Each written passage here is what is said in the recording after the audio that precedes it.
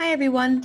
Today I'm going to walk you through how to make a song in Quaver Music, how to save that song, turn that song into an MP3, save it to your Google Drive in Chrome, and turn it in for the assignment this week. So let's begin. All 5th, 4th, and 3rd grade students have this assignment. So I'm going to just pick 4th grade today, but they will look the same for 5th, 4th, and 3rd. Click in it. Here you will see the assignment in two places. It's in my stream, my backbeat song. You can also look in classwork. Click on my backbeat song under the songwriting tab. Here you're going to go to view assignment. Now this assignment is a songwriting assignment you will be doing in Quaver Music Backbeat. We're going to click on Quaver Music to log into Quaver.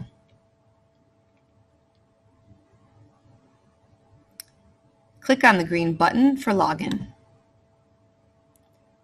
Here you will type in your Quaver username that I gave you and your password.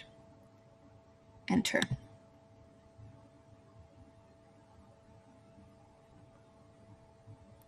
The songwriting components are in the music creatives.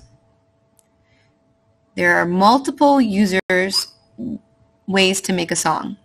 We're going to do Quaver Backbeat this week.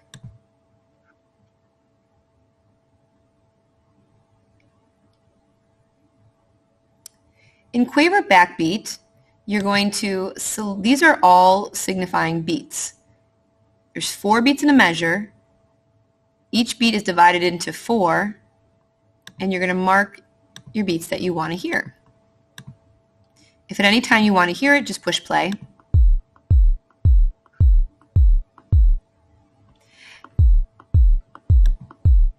If you want to add more measures, click on the measures.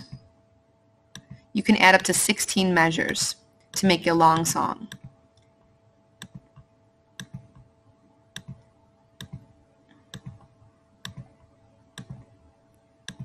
I'm just going to select some beats. It will loop your segments over and over again, but when you go to make it a song, it will be short if you just did two measures. Here you can change the speed. Moderato is medium, Largo slow, Vivace a little faster, and Presto.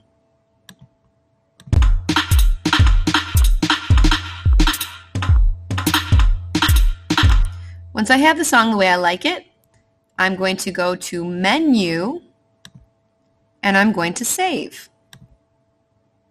You need to give your composition a new title.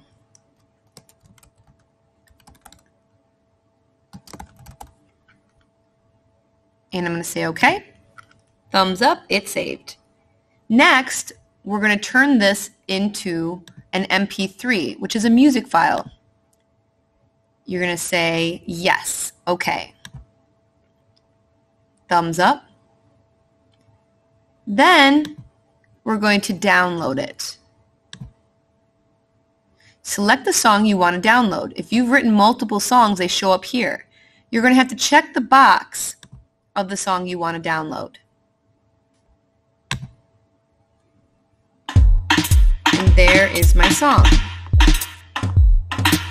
Now you need to find out where this song went. In order to do that, you're going to go to download here, the three dots on the side, and say show in folder. Now it's showing you your save folder. Notice it's in the downloads, highlighted in blue. We need to move it over to your Google Drive so you can add it to your assignment and turn it into me so I can hear it. And this is how we're going to do it. You're going to click your song drag it into Google Drive, and now it's copied into your Google Drive. Next, we're going to go back to the tab on your screen that should still be open for your assignment, My Backbeat Song. Now we're back into Google Classroom. To add your song to your assignment, click on Add. Here you can select now your Google Drive. And in your Google Drive, you should see your song, which looks like headphones. Click on that. Click Insert. And then you can turn it in. At this point, you could also add multiple songs if you created many songs. And that is how you turn in a song, save your work on Quaver, save it as an MP3 music file, drag it to your drive, and turn it in for your Google Classroom. Feel free to replay this if you have any questions.